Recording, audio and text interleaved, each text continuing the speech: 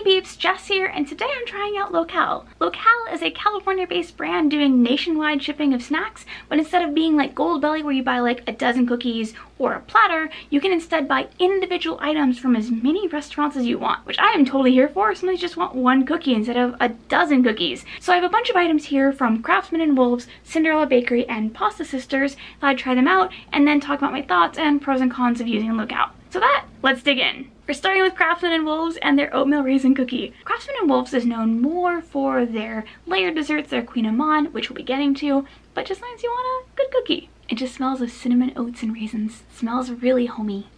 Cheers. Without going fancy, this is about as good as an oatmeal raisin cookie can get. Like, objectively just wonderful. You got a soft, chewy, tender cookie. And it's still tender. It's been in transit for like 24 hours, but still tender, soft. Wonderful chew from some really soft raisins, pops of oatiness and earthiness from the oats, and just a little bit of sugar and cinnamon all the way through, bringing it a little bit of caramelization, a little bit chew, hominess, all the good stuff. It's even got a little crispiness on the edges, a little toffee sweetness, so good. I will say, given that this was, I think, five or six dollars, clearly you could probably make some at home for much cheaper, that's not the point of this experiment. The point was, can I get a cookie and can I get it to be tasting pretty good? And it succeeds. My problem is now I want to eat this rather than doing the rest of the review. Next we have the Creamsicle kouign-amann. If you haven't had a kouign-amann before, I hope you get to try one. It's a laminated dough similar to puff pastry with layers and layers of sugar in between until it becomes really caramelized and buttery and sugary and just so good. You can see here just how caramelized it is. So pretty. I mean, it just smells like butter and there's a light orange scent to it and I kind of feel bad eating a kouign-amann every time because it's just so pretty. Well, cheers. Whoa. So the kouign-amann is a touch dry and honestly a touch sticky on the bottom, which it was not frozen or refrigerated, so I kind of expect that. Like this is the kind of thing that I'd rather just get fresh or have it baked at home just because, well, it's sugar and there's a lot of sugar caramelization and any warmth or any water gets near it, it's going to be a sticky mess. It's crunchy from the exterior sugar on top. It's buttery, it's flaky. The filling though is an absolute creamsicle flavor. It's just this huge burst of almost fresh orange juiciness to it. Really bold and sharp. And the center of the kouign-amann is an orange curd. I thought it was a custard at first because it eats like a custard. There's that kind of density of a really thick custard. But this makes way more sense and is also far more shelf stable. My only request would be to have it frozen instead and baked to order so you wouldn't have any of the stickiness that I got in transit. But I mean, you get similar if you're driving it home from San Francisco. kouign-amann just don't travel. The layers are gorgeous though. So next we have Cinderella Bakery and their Napoleon cake, which is layers of puff pastry and vanilla cream with a whole topping of goodness and crispy crunchies. I thought I was getting like a chunk of a cake somehow, but when it arrived, it's a whole cake. There's so much cake. I will be having cake three times a day just to get through this. It's also really heavy, like deceptively heavy. Cutting this is really tough. smells like butter and almost like cornflakes, that buttery, just caramelized flour scent. Well, cheers.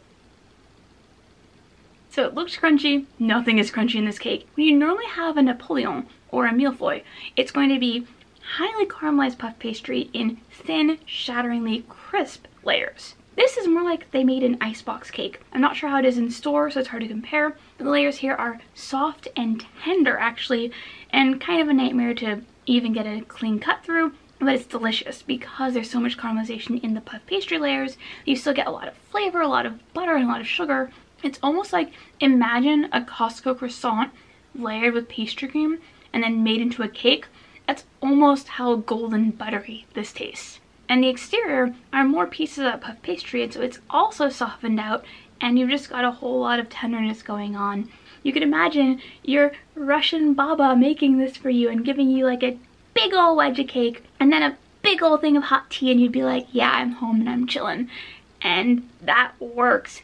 My request would be something to offset how sweet it is because it is so filling. This could get you through the winter. And so yeah, I think if I was having more later this week, I'll probably have it with hot tea, like an Earl Grey or a black, something really, really strong, just so that your palate gets refreshed between bites. It can get a touch sweet too, but again, if you just had a strong tea, you'd be good. I do wonder how this is in the restaurant though because it's so hard to cut through, but it arrived cold and on ice and so I don't think it's that different.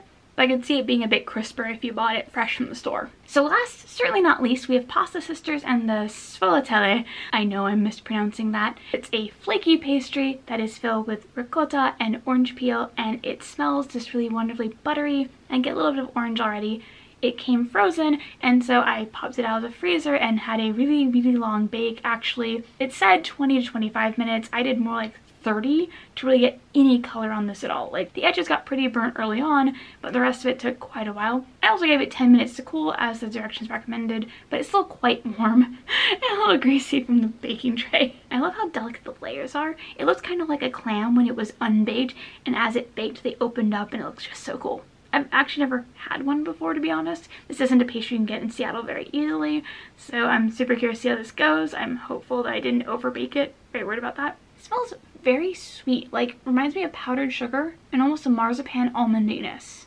Well, cheers. Mm, that's a satisfying crunch. So the pastry, I don't know if you can see how transparent this is, is shatteringly thin and crisp.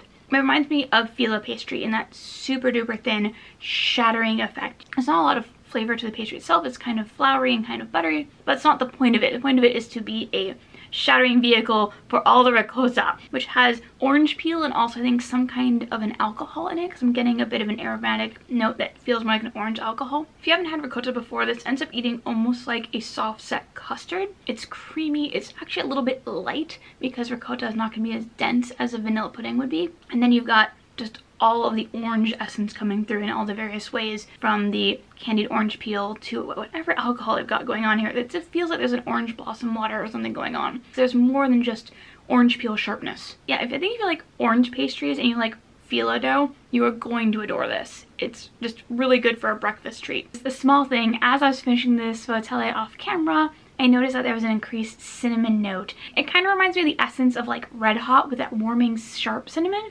but it's not really strong. But if you're not a big cinnamon fan, you might not like the treat as much when it's a little cool. Just eat it hot. I didn't taste that at all when it was hot. So first I want to give my thoughts on the desserts and then I want to give my thoughts on locale because I have a lot of thoughts. Of the desserts, they were all solid. I have trouble picking a favorite. This was really good. I think my favorite probably is the Craftsman and Wolves cookie. Just it's a really, really well done oatmeal raisin. You can't go wrong with that. And this sfogliatelle is right there and I want to eat it right now. I really do love the giant Napoleon cake. It's been so much fun to eat off camera. And the Kouign Amann, I just think it should have been sent frozen because the layers got a bit tacky, but it was still delicious. So with all that, would I order from Locale again? Yes. Oh my goodness, yes. While I was prepping the second section of this video, they released ube croissants from Hanabi, and I want them so badly. I'm so annoyed they're not in this video. Like, ube almond croissants. Just...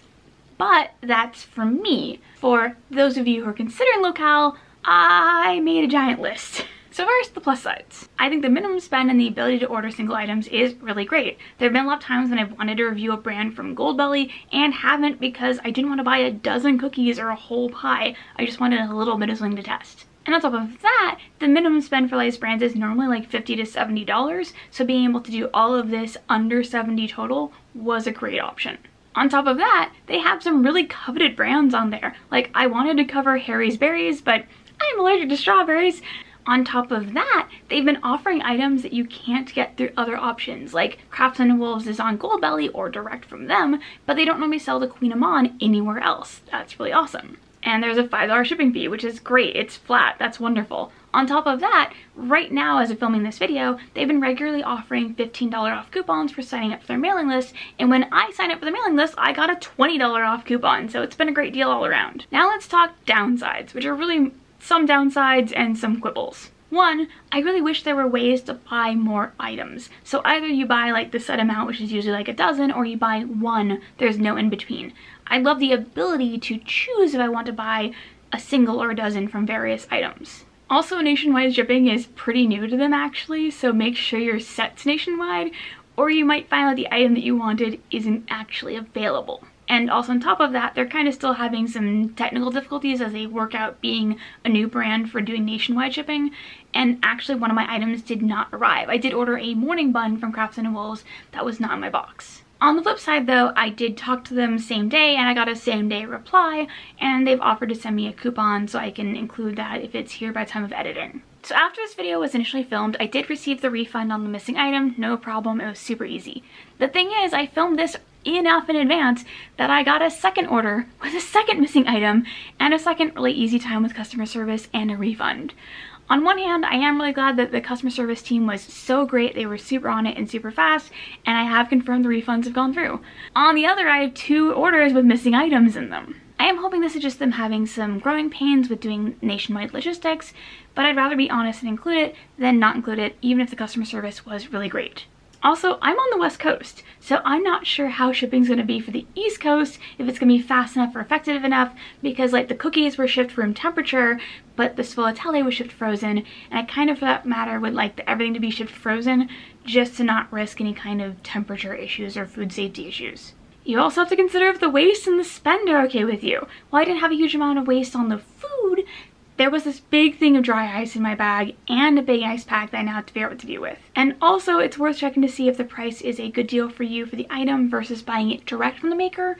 A good example of that is that Manresa Bread sells the kouign-amann for I think the same price as they do on Locale, but through Locale you only get one kouign-amann and through them you get two.